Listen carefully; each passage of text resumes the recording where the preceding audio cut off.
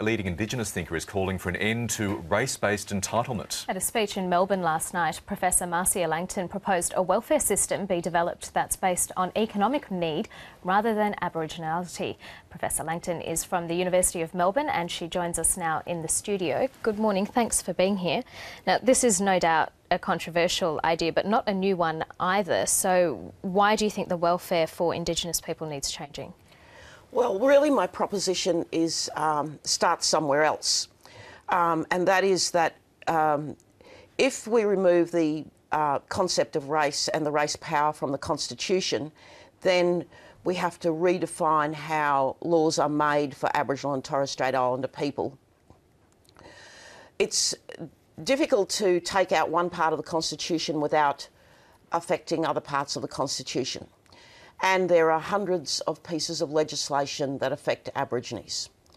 And so therein lies the nub of the problem.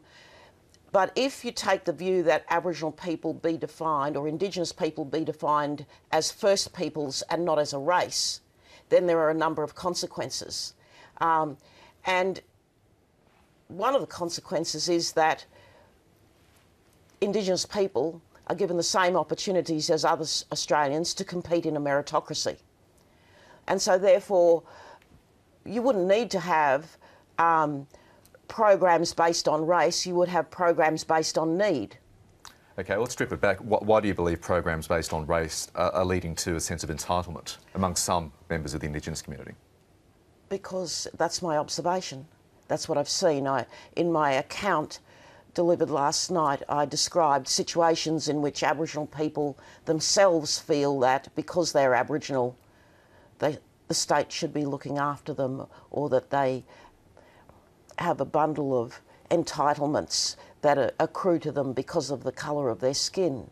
So um, it's, it's actually um, doing damage to Aboriginal people because they feel that they don't have to compete in a meritocracy. What sort of damage? I mean, you've seen it personally. What, this sense of entitlement, how does that affect life choices made by some? Well, I think if we ask ourselves why Aboriginal parents don't send their children to school, it's because they believe that because they're Aboriginal they don't have to, um, because they're Aboriginal there would be no point in sending their children to school because there's probably no job for them. And that is the attitude that develops when people don't believe that they are, are required, like everybody else, to participate in society and the economy. How would it work in practice? Um, in the same way that it works for you. So, do you think it's a proposal that would be taken seriously by government? Um, I hope so. Um, most of the argument is set out in the report of the expert panel on the constitutional recognition of Indigenous Australians given to the Prime Minister in January. When you take the simple points made in the very large report rec to recognise Aboriginal Australians because they were here first um, and remove the race power, therefore you're recognising Indigenous people as first Australians and not on the basis of race. It would be very difficult for a court to consider uh, any particular person, it doesn't matter who they are, on the basis of race in the 21st century, given all that we know about the human species and DNA and the human genome. It's an outmoded concept it doesn't really mean anything. So you'd like to just withdraw benefits lock, stock and barrel, or there'd be some dispensation for some members of the Indigenous community who can't necessarily just pick up That's where right. they are and go out and get jobs and send their kids to school because of immense levels of disadvantage. That's right. And that's what I mean by basing welfare on need and not on race. And the same would apply to any other Australian. Um, yes, there, are, there is disadvantage. Um, and it's those disadvantages should that, that should be addressed. There's an attitude that um, Indigenous people can't really do it, can't really succeed at school, can't really do the job. And over time, without the race construct, with policies and legislation aligned to address disadvantage and not race, then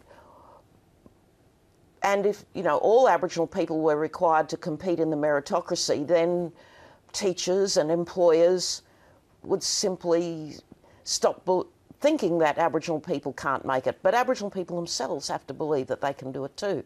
There's now a new government in the Northern Territory. Why do you think so many Aboriginal voters uh, voted against Labor? I'm not really 100% sure at this stage. I'm waiting to see um, what people in the Northern Territory say.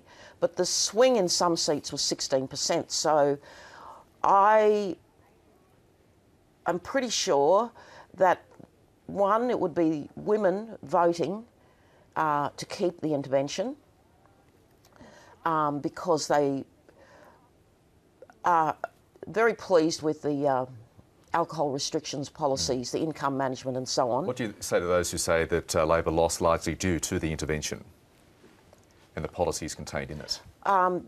The only thing that's true about that statement is that the government in the Northern Territory didn't handle the intervention competently. And so, for instance, uh, uh, Alison Anderson, Yep. uh, who, who left the ALP, crossed the floor, became an independent, and then joined the CLP, and has, I presume, been re elected, um, was dissatisfied with the, go- the government's um, handling of the housing policy. So I think the Northern Territory government only has itself to blame because they didn't take the intervention seriously and, and do a competent job. On the other side of the border in Western Australia, houses have built, been built very, very quickly. Um, but in the Northern Territory, it, it seems to be a, a bit of a mess. I think the main problem was actually the super shires. The Labor government shut down all the community councils and amalgamated them into just a few large shires and took away any sense of control from the people in the communities. And the new government promised during the campaign to uh, to pay attention to them, to uh, to meet directly with the communities, and to do something about that problem. And I, I think that was probably the big ticket item. Now we're running out of time, but I just really quickly want to get your thoughts because you've also called for any uh, referendum to recognise Aboriginal people in the Constitution to be delayed. Why is that? His, history tells us that referendum questions succeed only if they are advocated by a government that puts a yes case, uh, uh, by a conservative government, and if there is no no case. And I think we all agree that not enough people understand the issue for it to go to the people anytime soon, because um, it's a very complicated issue, and not many people know about the race power. Um, Does that disappoint you that that's where we're at in Australia in 2012? I have to say, I wasn't surprised. Marcia Langton, thank you for your time. Thank you.